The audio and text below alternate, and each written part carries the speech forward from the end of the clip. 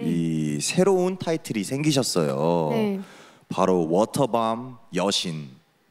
어, 이렇게 큰 관심과 지대한 사랑을 받으실 거라고 예상하셨나요 혹시 그 순간에?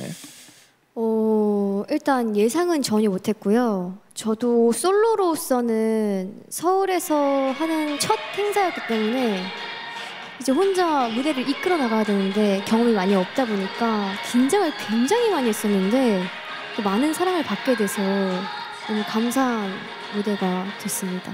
좋은 모습을 보이고 활약을 할 때마다 주변인들에게 연락이 이렇게 올 때가 있잖아요. 네. 뭐 기억에 남는 어떤 뭐 반응이라든지 아무래도 부모님의 반응이지 않았을까 싶은데 음흠. 부모님이 무대를 보시고 일단 아버지께서는 굉장히 프로다웠다. 아 네.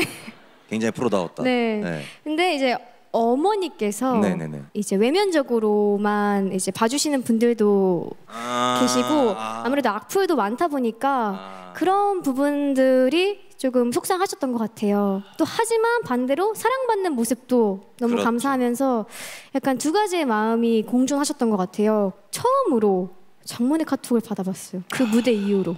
사실 이제 네. 워터밤으로 또 이제 권은비 씨를 기억하시는 분들도 많겠지만 이분의 서사는 그 전부터 무려 데뷔 11년 차이신 프로 가수입니다. 그쵸? 맞습니다. 네.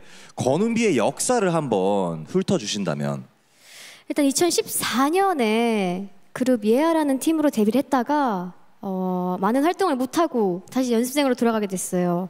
이제 아이즈원이라는 팀으로 데뷔를 하게 돼서 팀 활동을 한 2년 6개월 정도 하고 다시 또 회사로 들어갔다가 또 솔로로 이제 데뷔한 지 한 3년 정도 됐습니다. 그런 느낌이에요. 마치 어떤 선수의 그 생활을 보는 것 같은 네. 뭐막 해외 어디 갔다가 어떤 팀에 입단했다가 되게 다양한 이 행보를 네. 보여주셨는데 네.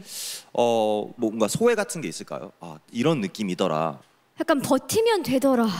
와 네. 이거 진짜 명언인 것 같아요.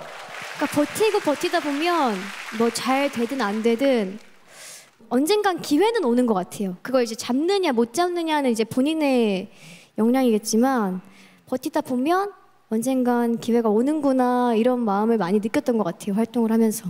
아 너무 대단합니다.